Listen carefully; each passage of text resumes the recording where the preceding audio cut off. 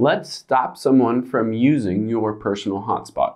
Now, if somebody else is connected to your personal hotspot and you'd rather them not anymore, maybe they got your password at some point, but they keep draining your personal hotspot, you can always kick them off, and I'm going to show you how. Let's hop into our settings and we'll tap on personal hotspot.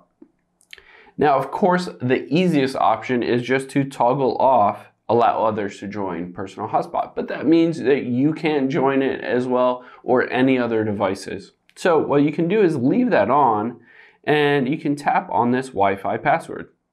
The key here is this last sentence. It says changing the password will disconnect any currently connected users.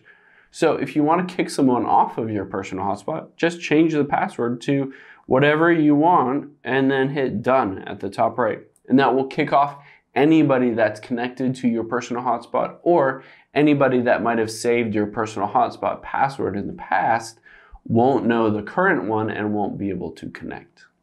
Hope this helps. Thanks for your time today, and I'll see you on the next one.